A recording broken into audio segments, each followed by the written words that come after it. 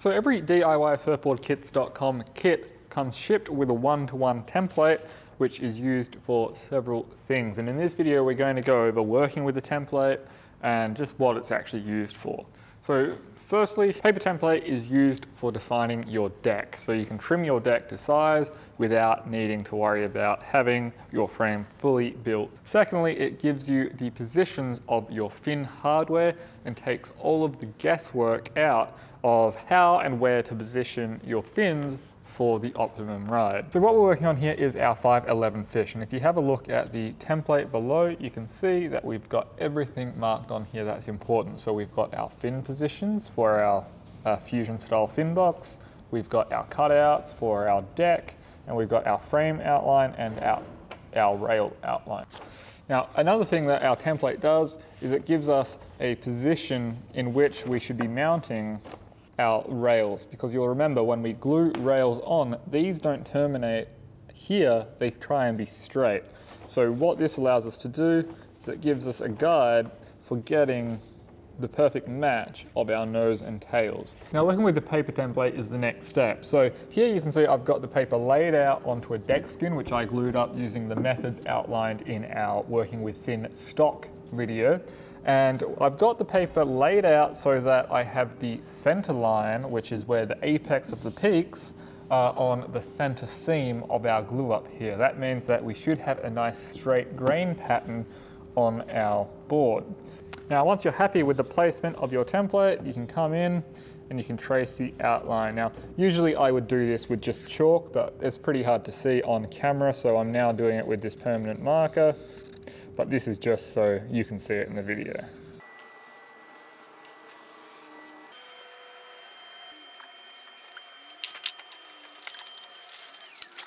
Okay, so that is now the outline. An optional step, which is a really good thing to get into the habit for, is just scribing your center line using something like this. So this here is a chalk line, and essentially you just hook one end over where you've got your center mark, pull it out,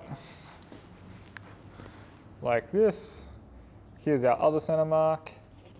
Just pull it and that marks a chalk line on your board.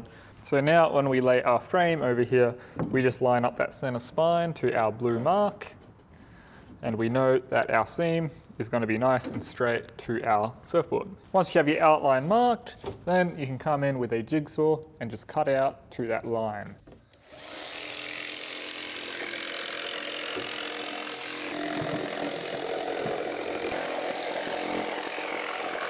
Okay, so that's the first function of our one-to-one -one paper templates. Now, now, the second function comes in a little bit later in this build, but we're going to jump forward a little bit and move on. So where we're jumping forward to is where the frame has been glued onto the bottom deck using that rocker table. So the other thing that the frame does is it tells us where to position solid wooden blocks inside of our structure here so that when we install our fin plugs and vent plugs and all that sort of stuff, we're not going into a hollow void, but rather into a nice solid block of wood. Now, the function of the template is when we lay it over, like so, we can see where the fin plugs go. So this is one fin plug, here is another. Now this is the fish, so it's only got the two side fins, but if you had to thrust it, it would show the, the uh, center fin position as well. So we can see from our guide here that we're essentially needing to fill in this area on both sides with a solid block of wood. Now we want to be sure that we get a nice clean uh, reference surface all around. So if you've got any squeeze out, you can come in with a sharp chisel or a, a razor blade and we can just kind of peel away all of the squeeze out in that area so that we can lay a block in here with good glue coverage and not have any air gaps or voids. So now that we know where our fin positions are, we can actually fill in the areas with solid wood. And we recommend just using the offcuts from your skins and just stacking them as many times as you need. So for a Fusion FCS style plug like this, you need three or four layers thick, including the skin, so that would be two or three additional layers. Uh, for fin boxes, like the 10 and a half inch or whatever, uh, you would actually lay these up on edge and glue them against the center spine. And that is the sort of fit that we're looking for. So we got three pieces stacked together. That gives us basically another six millimeters of safety. Plus, if you see where this line is, we've got about an extra inch of safety material there as well. So from here, we just uh, glue these in place and move on to doing the top deck. Okay, so that's the two main purposes of our paper templates. Now there are further steps that it is used in, however, that comes on a lot later in the build and it will be the focus of other methods throughout the build. So that's going to be it for this video. Thank you for watching. If you've enjoyed this video, make sure you click the thumbs up button and leave a comment below.